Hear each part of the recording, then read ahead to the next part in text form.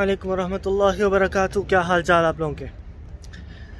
अच्छा गाड़ियों के बारे में इंफॉर्मेशन दे दो यार। गाड़ियों के जो स्टूडेंट्स लेना चाहते हैं और कोई और भी लेना चाहता है जॉर्जिया में थोड़ी सी इन्फॉर्मेशन दे दूँ। मैं एज अ स्टूडेंट इन्फॉर्मेशन देना चाहता हूँ स्टूडेंट्स को, क्योंकि उनको काफ़ी चीज़ों का पता नहीं होता है और वो लॉस खाते हैं और उसके बाद बेचने में भी प्रॉब्लम और महँगी भी ले लेते हैं।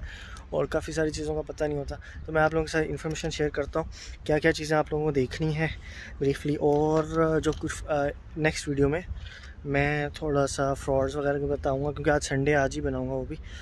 जो स्टूडेंट्स के साथ होता है, जो लेबर तबके के साथ, पाकिस्तानियों के साथ हो रहा है, जो गल्फ़ से आता है, ठीक है? और कुछ पाकिस्तान में बैठे हुए हैं, वो भी कोई नई कहानियाँ सामने आ रही हैं। आप लोगों के साथ शेयर करता हूँ ताकि आप लोगों के साथ ना हो। अच्छा ऐसा है, अभी गाड़ियों की बात करूँ तो देखिए मैं ना आप ये देख रहे हैं गाड़ियाँ ही गाड़ियाँ यहाँ पे ठीक है? ये रुस्तावी जो है ये तिबलीसी से तकरीबन 20 किलोमीटर दूर है। आप यहाँ पे आएँ प्रॉपर सिटी है वो आपको अगर नज़र आए ग्रैंड वजनी हॉल अगर आपको कभी अगर मेरी वीडियो देखेंगे और यहाँ पे आना हुआ आपको पता चल जाएगा यार ये ग्रैंड वजनी जो है ना आ, प्लाज़ा यहाँ से आपको नज़र आ रहा है और ये यहाँ पर सारा लॉट बनी हुई है यहाँ मतलब गाड़ी लिए स्लॉट्स है सारी।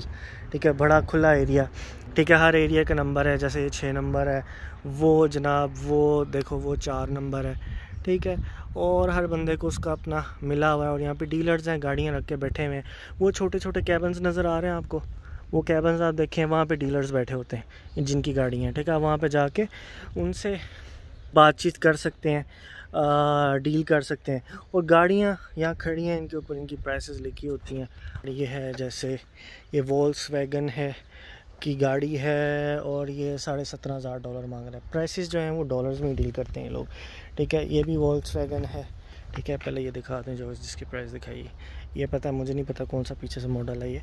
ठीक है, ये है 2020 मॉडल है और उन्नीस हज़ार पाँच सौ मांग रहा है इसका। तो जैसे बस जस्ट एग्जांपल आपको दिखा रहा हूँ। ठीक है? तो इस तरह यहाँ पे जनाब गाड़ियाँ आप यहाँ पे देख सकते हैं और दूसरा आपके पास होती है माई ऑटो डॉट जी ई। ठीक है, जैसे माई होम्स डॉट जी ई है, ऐसे माई ऑटो डॉट जी ई है, माई मार्केट डॉट जी ई है। ये मतलब डॉट जी ई मतलब जॉर्जिया का है और बाकी इनकी ये साइट्स हैं। माई ऑटो पे आप ये सारे देख सकते हैं। एक चीज़ और मैं इसमें मेंशन करना चाहता हूँ कि ये जो आप माई ऑटो में जाओगे और यहाँ पे जो प्राइसेस लगी हुई हैं, ठीक है, और माई ऑटो पे जब आप जा, आपको गाड़ी कस्टम क्लियर है और कस्टम क्लियर होने के बाद भी, जैसे मिसाल के तौर पे ये मैंने आपको दिखाई, उन, ठीक है, उन्नीस हज़ार पाँच सौ मांग रहा है इसका, ठीक है, मैं आपको बताऊँ, इस रेट में आपको शायद आइडिया ना हो, इसके पास आप से तकरीबन दो हज़ार डॉलर छुड़वा सकते हो। बहुत ज़्यादा टिल लगाओगे तो डेढ़ हज़ार तो मस्त छुड़वा सकते हो। तो मतलब इतना मार्जिन होता है। ये चीज़ आपने जहन में रखनी है, ठीक है? कितनी इंपॉर्टेंट बात आपको बताई है मैंने कि जो भी प्राइस अपडेट कर रहा है, अपनी लगा रहा है यार, उसके पास डेढ़ हज़ार हज़ार, डेढ़ हज़ार हज़ार का तो पक्का, हज़ार से डेढ़ हज़ार का मार्जिन उसमें है, ठीक है? तो आपने इस चीज़ को जहन में रखना है और इतनी प्राइस को आपने कम करवाना है उसके साथ, ठीक है? आप तीन हज़ार से लेके चलें और इस तरह कम करवाना है। और दूसरी क्या चीज़ें आपको फिर मज़ीद देखनी चाहिए?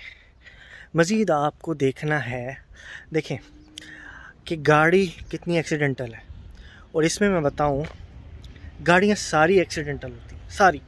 यहाँ पे सारी गाड़ियाँ एक्सीडेंटल इंपोर्ट होती हैं।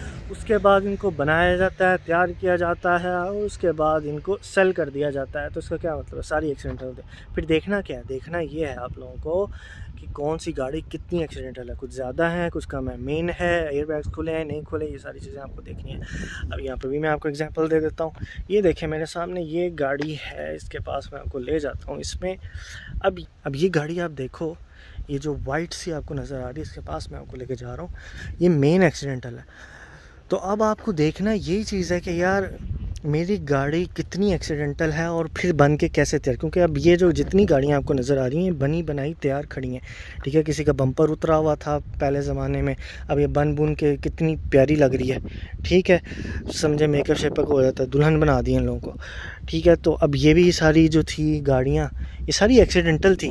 इनको तैयार किया रेडी किया, खड़ा किया। अब जैसे ये गाड़ी है, ये वोल्स वैगन थी, ये मेन एक्सीडेंटल है। आपको मेन एक्सीडेंटल नहीं लेनी। मेन एक्सीडेंटल क्या होता है? सामने से लगी हो एयर बैग्स खुले हों, ये सारी चीज़ें। ठीक है तो अब देखें एयर बैग्स खुले हुए इसके। एयर बैग्स खुले हुए आपको ये गाड़ी परचेज़ नहीं करनी। ये गाड़ी अभी बनेगी। ये बन के तैयार श्यार हो जाएगी और आपको पता भी नहीं चलेगा कि ये गाड़ी कभी ज़िंदगी में एक्सीडेंटल भी थी। अब ये भी जैसे बीएमडब्ल्यू खड़ी है, ये भी एक्सीडेंटल है, ये बनेगी, तैयार होगी। आपको पता भी नहीं चलेगा कि यार, ये गाड़ी का भी एक्सीडेंट मेन एक्सीडेंटल ये भी मेन एक्सीडेंटल ठीक है, उसके भी एयरबैग खुले तो एयरबैग जब खुल जाए तो उतनी नहीं चाहिए। तो आपको कौन सी गाड़ी, कौन सी गाड़ी लेनी है?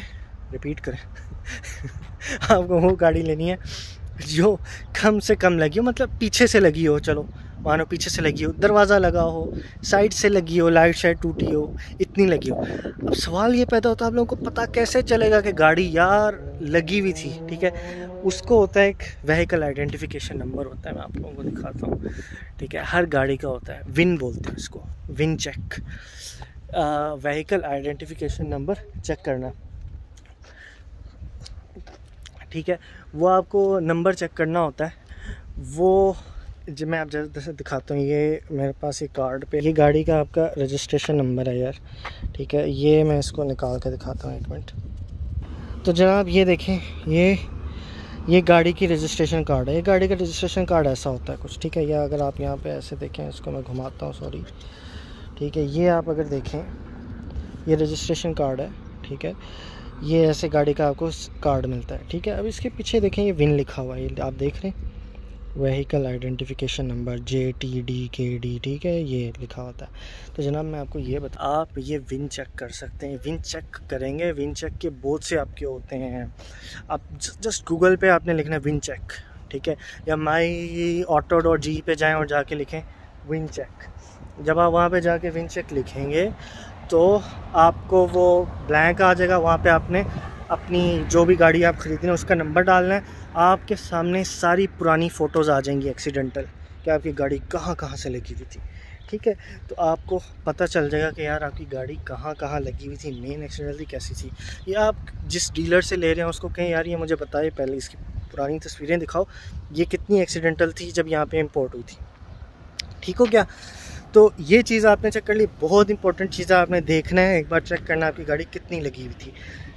सारी गाड़ियाँ लगी हुई आती हैं। ये चीज़ भी जहन में रखें। जो न्यू आती हैं, उनकी तो प्राइस देख के आपको पता चल जाएगा कि यार, अगर इतनी ज़्यादा प्राइस मांग रहा है तो इसका मतलब है, ये गाड़ी न्यू आई है। मतलब बिल्कुल लगी हुई नहीं आई थी आई थी। अच्छा अब गाड़ी लेनी कौन सी यार आप लोगों ने? गाड़ी आपने हर मुल्क का हिसाब है, हर मुल्क का रूल है, सिर्फ़ एक नहीं है।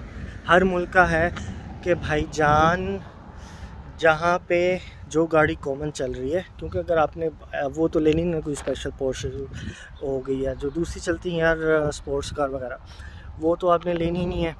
तो आपने जब कॉमन गाड़ी लेनी है कॉमन गाड़ी में आपको हमेशा वो लेनी चाहिए, जिसमें ना, जो सबसे ज़्यादा चल रही हो, जो सबसे ज़्यादा कॉमन है। कॉमन जॉर्जिया में कौन सी है? टोयोटा और मर्सिडीज़ ठीक है, इन दो को आपने प्रेफरेंस में रखना है, और इन दो में आपने क्या करना है, आपने कौन सी लेनी है?